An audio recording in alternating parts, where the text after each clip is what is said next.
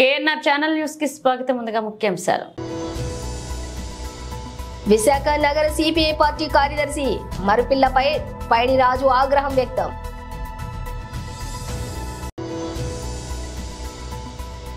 MVR charitable trust ఆధ్వర్యంలో సేవా కార్యక్రమాలు పునః ప్రారంభం.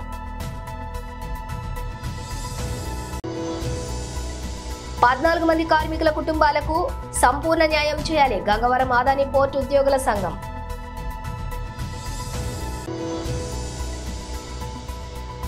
డిప్యూటీ సీఎం పవన్ కళ్యాణ్ తన జన్మదిన వేడుకలు. ఇక డీటెయిల్స్ చూస్తే రాష్ట్రంలో తెలుగుదేశం పార్టీ కూటమి అధికారంలోకి వచ్చిన తర్వాత పెందుర్తి మండలంలో కూటమి నాయకులు భారీ ఎత్తున ప్రభుత్వ భూములు ఆక్రమిస్తుంటే రెవెన్యూ అధికారులు చోద్యం చూస్తున్నారని విశాఖ నగర సిపిఐ పార్టీ కార్యదర్శి మరపిల్ల పైడిరాజు ఆగ్రహం వ్యక్తం చేశారు. పెందుర్తిలో ఉన్నటువంటి తహసీల్దార్ కార్యాలయం వద్ద సిపిఐ పార్టీ ఆధ్వర్యంలో ప్రభుత్వ భూములు బడాబాబుల నుంచి కాపాడాలని పేద ప్రజలకు ఇళ్ళు ఇళ్ళ స్థలాలు ఇవ్వాలని డిమాండ్ చేస్తూ ధర్నా చేశారు. ఈ సందర్భంగా పైడిరాజు మాట్లాడుతూ చిన్న ముసిడివాడ కేంద్రంగా ఉన్నటువంటి ఒక తెలుగుదేశం పార్టీ నాయకుడు కూటమి ప్రభుత్వం వచ్చిన తర్వాత భారీగా ప్రభుత్వ భూములు ఆక్రమిస్తున్నారని దీనిపై రెవెన్యూ మంత్రికి ఫిర్యాదు చేశామన్నారు. ఈ ధర్నా కార్యక్రమంలోని సిపిఐ పార్టీ నాయకులు రాంబాబు ఆర్ శ్రీనివాసరావు మరికొంతమంది నాయకులు కార్యకర్తలు కార్మికులు పాల్గొన్నారు. చెప్పాలి. ప్రభుత్వ భూములు ఆక్రమిస్తున్న కార్పొరేటర్లపై చేసి ఇంటి పట్టాలు ఇవ్వాలి. విద్యుత్ ఇచ్చి ఇంటి పట్టాలు ఇవ్వాలి. కార్పొరేటర్లు భూ కబ్జాలు చేసుకోవచ్చని రాష్ట్ర ప్రభుత్వం అనుమతి టీడీపీ కార్పొరేటర్లు భూ కబ్జాలు చేసుకోవచ్చని ఎన్డీఏ ప్రభుత్వం అనుమతి ఇచ్చిందని ఎమ్మెల్యే గారు చెప్పాలి. చెప్పాలి ఎమ్మెల్యే గారు. కార్పొరేటర్లు భూ కబ్జాలు చేసుకోవచ్చు ఎన్డీఏ ప్రభుత్వం. సిపిఐ పెందుర్తి శాఖ ఆధ్వర్యంలో మండల తహసీల్దార్ కార్యాలయం దగ్గర నిరసన చేపట్టాం. ఈ నిరసన ముఖ్య ఉద్దేశం విశాఖపట్నం జిల్లా పెందుర్తి మండలం చిన్నముషిలవాడ గ్రామ సర్వే నెంబరు నూట ఎనభై ఐదులో ఎన్నో ఏళ్ళ నుండి పేద ప్రజలు పాకలు వేసుకొని నివాసం ఉండి ఇళ్ళ పట్టాలు ఇవ్వమని మొత్తుకుంటే వాళ్ళకి కనీసం విద్యుత్తు మంచినీళ్ళు సరఫరా చేయమని మొత్తుకుంటే వాళ్ళు దిక్కు చూసిన పాపాన్ని పోలేదు సరికదా?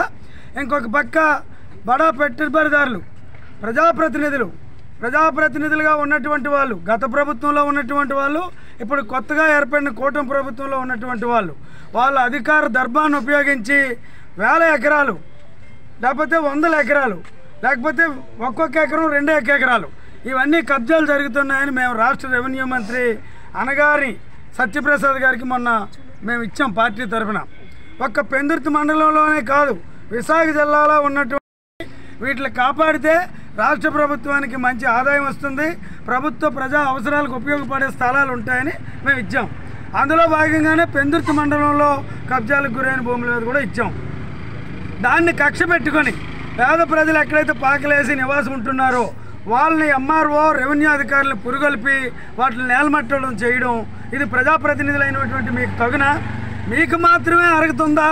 ప్రభుత్వ భూములు ఎకరాలు ఎకరాలు కాజేసి మీ కుటుంబాల పేరుని పెట్టుకోవడానికి ఇది చాలా అన్యాయం కదా ప్రజాప్రతినిధులుగా మిమ్మల్ని ఎన్నుకున్నాం.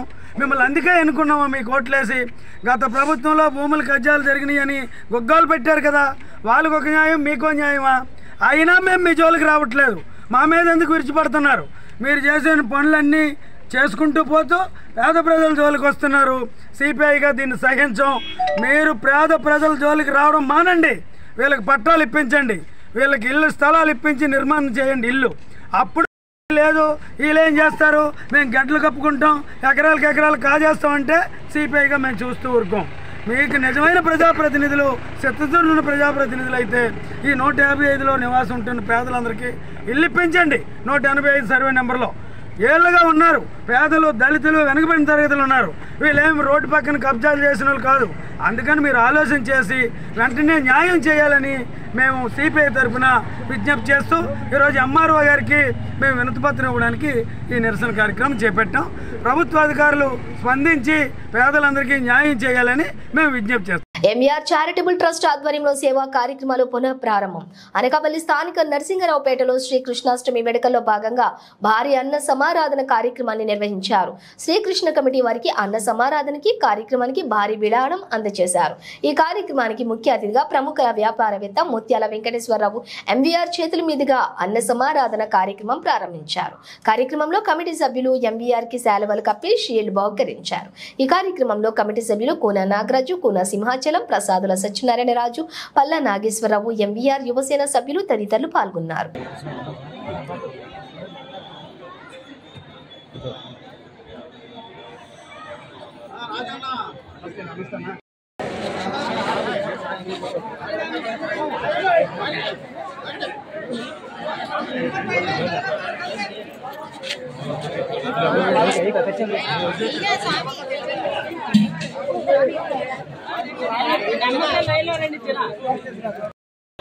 చెప్పమ్మా.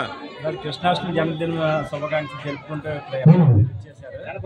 అలాగే ఇక్కడ భారీ అనుసంతర్పణ కార్యక్రమం మన కమిటీ నెంబర్ అందరూ కూడా బాగా చేస్తున్నారు. ఈ కార్యక్రమానికి విచ్చేసిన ఎంఏఆర్ గారికి కానీ మా ఈ టీం మెంబర్లందరూ కూడా మా కు- కుర్రలు కూడా నాకు ధన్యవాదాలు తెలుపుకుంటూ ముఖ్యంగా ఇక్కడ శ్రీకృష్ణ జన్మదిన పుట్టిన సంబరం చాలా గ్రాండ్గా చేస్తారు. పుట్టిన సమర్పణ అయిపోయింది. ఈరోజు ఊరేగింపు జరుగుతుంది. అలాగే ఎంఈఆర్ చేతుల మీదుగా ఇక్కడ ఒక గుడి కూడా కట్టాలని మా అందరి కోరిక. సెలవు తీసుకుంటాం. ఎప్పుడు కూడా ఎల్లవెల్ల అండదండగా ఉంటూ ఈ కార్యక్రమాన్ని ఇంత భారీ ఎత్తుగా జరుపుకుంటున్నామంటే శ్రీ శ్రీ ఎంవీఆర్ గారి ద్వారా- మాకు ఎంతో అనుసంతర్పణకి భారీ విరాళాలు ఇచ్చి ఎంతో బాగా చేశారు.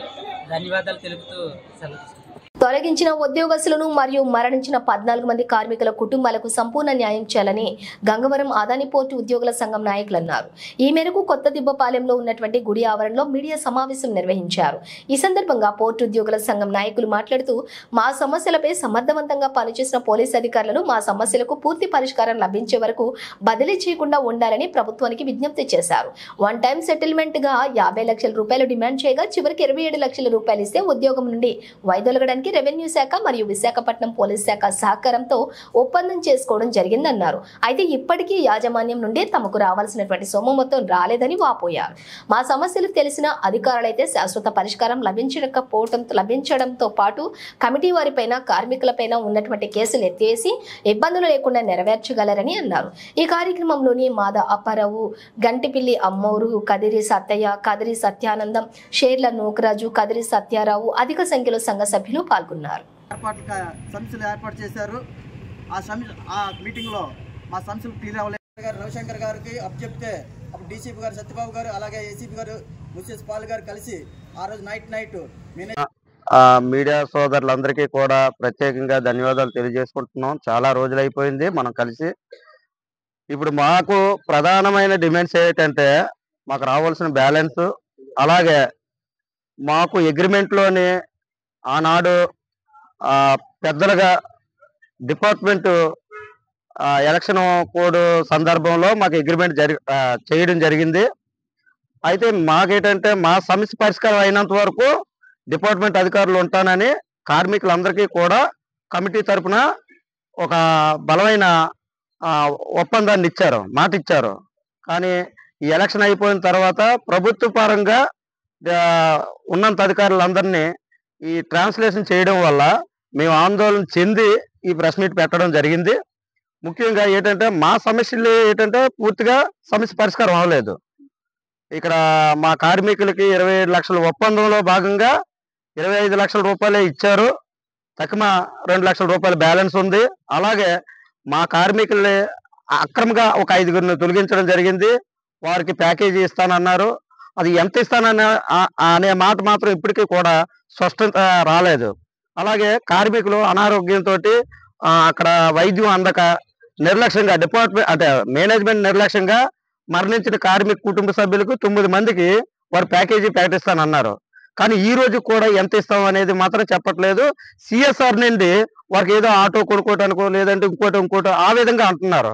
ఇది గంగవరం పూట ఒక కార్మికుడిగా చనిపోయిన వ్యక్తిని ఒక సిఎస్ఆర్ ఫండ్ నుండి ఆదుకుంటాం అంటే సిఎస్ఆర్ డిపార్ట్మెంట్ కొన్ని రకాలుగా ఆదుకుంటుంది. ఎలాగ ఒక అంటే ఆ గ్రామంలోని ఆ దత్త తీసుకొని ఆ గ్రామంలో బడ్డీ పెట్టుకోవడం కిల్లి రకరకాలుగా ఇది. అంటే ఇక్కడ ఒక కార్మికుడు కుటుంబం చనిపోయి నడి రోడ్డు మీద కుండిపోతే అంటే మేనేజ్మెంట్ ఈ రోజు కూడా నిర్లక్ష్యంగా వ్యవహరిస్తుంది. అంటే ఆ రోజు ఏంటంటే మాకు డిపార్ట్మెంట్ నుండి ఐపీఎస్ ఐఏఎస్ అధికారులు అంటే ఆ రోజు కమిషనర్ కానీ డీసీపీలు కానీ ఏసీపీలు కానీ ముఖ్యంగా ఇప్పుడు అర్బన్ ఏసీపీ గారు మా పరిధి కాబట్టి ఆయన బలమైన మాట ఇచ్చారు. అయితే ఇప్పుడు అలాంటి వ్యక్తుల్లోనే ముగ్గురు వెళ్ళిపోయారు. ఇప్పుడు ఉన్నది ఒక వ్యక్తే. మేము ఎటువంటి పార్టీలతో సంబంధం లేకుండా అగ్రిమెంట్ జరిగింది. మేము ఎవరితో చెప్పుకోవాలి ఇప్పుడు? మా పరిస్థితి. అందుకనే దయచేసి ప్రభుత్వం కూడా ఇప్పుడున్న కూటమి ప్రభుత్వం పెద్దలందరూ ఆలోచన చేసి మా సమస్యల్లోని పూర్తిగా అవగా అవగాహనతోటి మమ్మల్ని ఒప్పించి ఒక అగ్రిమెంటు అదాని మేనేజ్మెంట్తో జరిగింది కాబట్టిగా ఇప్పుడున్న డిపార్ట్మెంట్లో ఉన్న వ్యక్తుల్ని కొనసాగించాలి. జిల్లాలో ఎక్కడున్నా పర్లేదు ఎందుకంటే మా ప్రాబ్లం సాల్వ్ అవ్వాలంటే. అందుకనే జనసేన అధినేత రాష్ట్ర డిప్యూటీ సీఎం పవన్ కళ్యాణ్ జన్మదిన వేడుకలు. అరవై ఐదవ వార్డులోని వార్డు జనసేన సీనియర్ నాయకుడు వీరబాబు ఆధ్వర్యంలో ఘనంగా జరిగాయి. ఈ కార్యక్రమానికి జనసేన రాష్ట్ర ప్రధాన కార్యదర్శి తమ్మిరెడ్డి శివశంకర్ గాజువాక జనసేన ఇన్ఛార్జి కోన తాతారావు అరవై నాలుగవ వార్డు కార్పొరేటర్ దల్లి గోవింద్ విచ్చేసి ముందుగా కేక్ కట్ చేసి అనంతరం పేద మహిళలకు వృద్ధులకు చీరలు దుప్పట్లు పంపిణీ చేశారు. ఈ సందర్భంగా వారు మాట్లాడుతూ డిప్యూటీ సీఎం పవన్ కళ్యాణ్ తన జన్మదిన వేడుకలను కూడా పర్యావరణ పరిరక్షణలో భాగంగా నిర్వహించామని చెప్పడం ఆయన పనితనానికి నిదర్శనమన్నారు. ఎన్నో ఆటుపోట్లను ఎదుర్కొని రాజకీయంగా నిలబడ్డాడు అంటే అది కేవలం జన సైనికులు ప్రజల యొక్క మద్దతుతోనే అన్నారు. ప్రతి జన సైనికుడు తల ఎత్తుకునేలా పరిపాలన సాగిస్తారు అని గాజువాక ప్రజలకు పట్టాల్సినటువంటి అదృష్టం పిఠాపురం ప్రజలకు దక్కింది అన్నారు. జనసేన నాయకులు కార్యకర్తలు ఎవరూ నిరాశ పడొద్దని పార్టీలో ప్రతి ఒక్కరికి తగిన గుర్తింపు లభిస్తుంది అన్నారు. ఈ కార్యక్రమంలోని రేయి రత్నం లాయర్ కళావతి తిప్పల రమణారెడ్డి పాల్ రౌతు వెంకటరమణ ఢిల్లీశ్వరరావు పవన్ మరియు జనసేన నాయకులు కార్యకర్తలు ప్రజలు అధిక సంఖ్యలో పాల్గొన్నారు.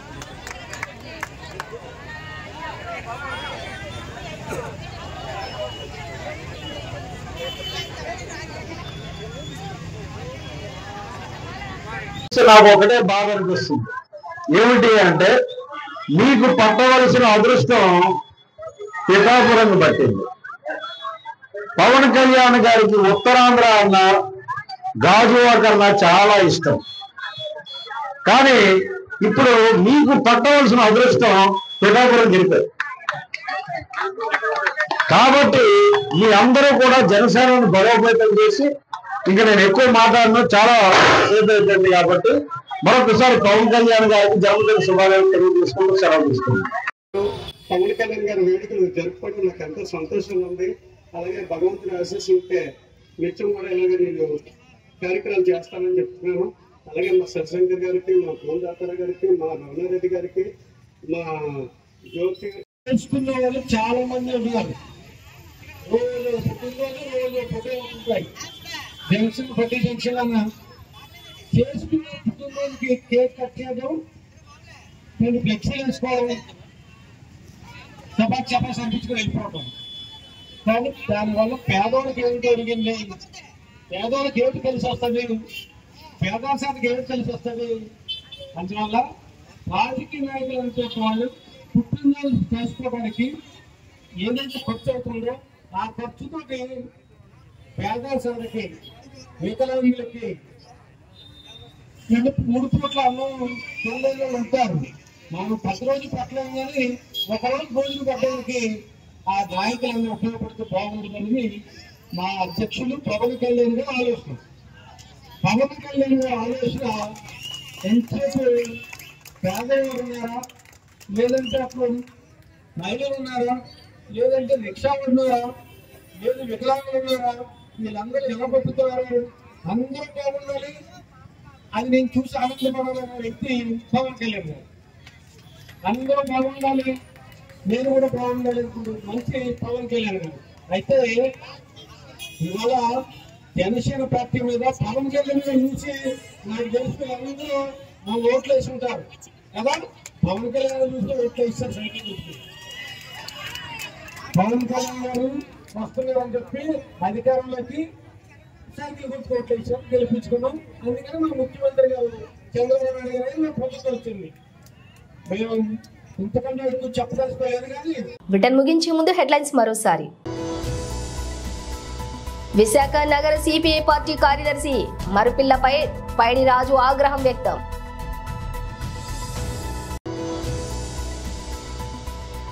ఎంవీఆర్ చారిటబుల్ ట్రస్ట్ ఆధ్వర్యంలో సేవా కార్యక్రమాలు పునః ప్రారంభం.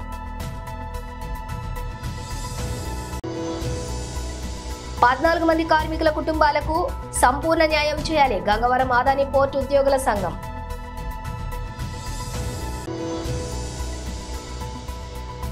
డిప్యూటీ సీఎం పవన్ కళ్యాణ్ తన జన్మదిన వేడుకలు. ఇవి బులెటిన్ డీటెయిల్స్ చూస్తూనే ఉండండి. Victory Media News.